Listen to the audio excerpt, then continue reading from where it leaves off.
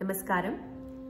I'm Divya Ravi, a Bharatanatyam dance artist, and I'm extremely honored and blessed to be a part of Spirit of Margazhi's Rise of Margary Festival this year.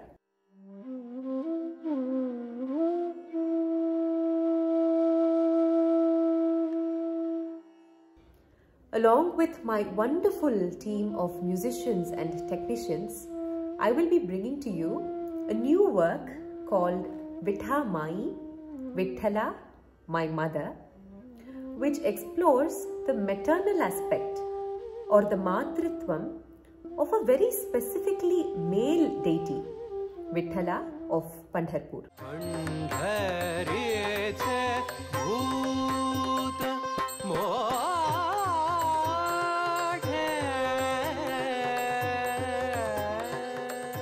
This idea came to being when we first heard the Madhura composed by Puja Guruji Muralidhara Swamiji.